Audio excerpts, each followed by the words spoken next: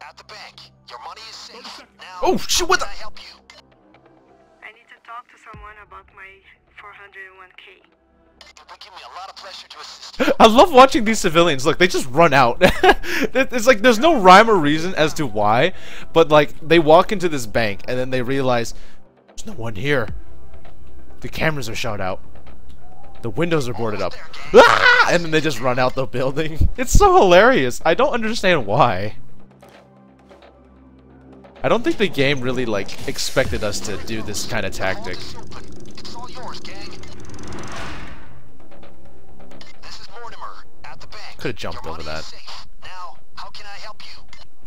I can go to that. Routine check-in. Can I have the time lock? Uh oh. Well, okay. This is my first day. What do you need? The daily code for the time lock on the vault? I'm gonna make you Should I send Sims basically off your avatar.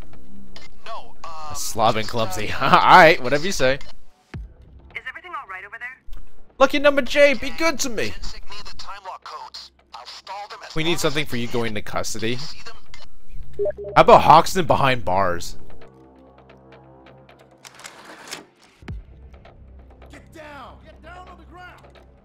Come on, get the time lock codes. Get the time lock codes, guys. Uh-oh, this ain't looking good.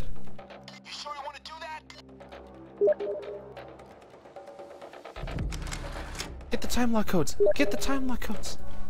Come on, guys. On the ground! Down! Stay where you are! Don't move! Wait, what happened? Follow me! My favorite pager answer is the one from Dallas where he goes, uh, um, uh, uh, and, and then the pager operator's just like, uh, yeah, that's good. Beautiful stacks of unmarked Benjamins. Just reward for an honest heister. Damn it. God damn it. Come on. Let me out. There you go. Oh, I'm just gonna watch him. I'm gonna watch his ass. Like, it's the most hilarious thing. He's just gonna start running. Look at him. he just run.